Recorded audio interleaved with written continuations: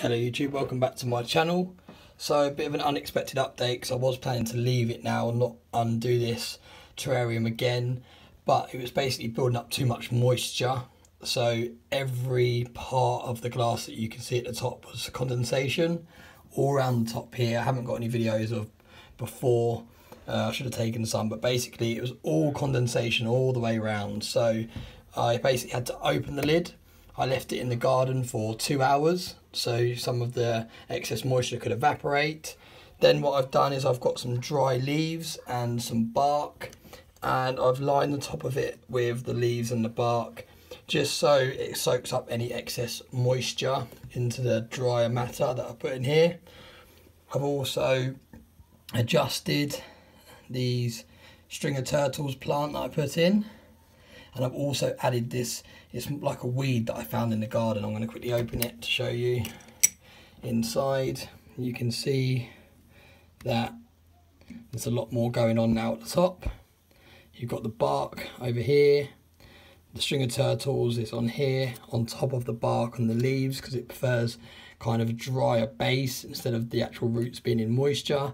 And then this is just like a weed that I found in the garden so it might not last but that's more of an experiment. So yeah, like I said, a lot of dry leaves to try and suck up some of the moisture.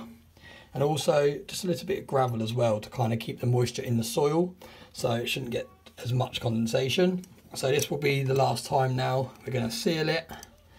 And then, if I can seal it with one hand, there we go. So now that is sealed. And this will be the last time that I open it for a whole, I'm going to try, let's say six months. We'll do an update in six months and I'm not going to open it for another six months and then we'll go back and see how it's progressed from there.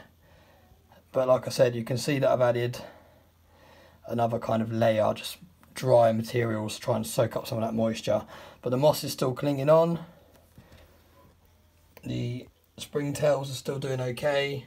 The worms I see every now and then crawling around, so they're doing okay. The woodlouse, they've actually, I think they've all died. I haven't seen any woodlouse moving around. And I saw a couple of dead bodies in there, so I don't think the woodlouse survived in there. So I won't be adding any more. That was just to see how they get on. So yeah, thanks very much for watching. And I will see you in six months' time for an update.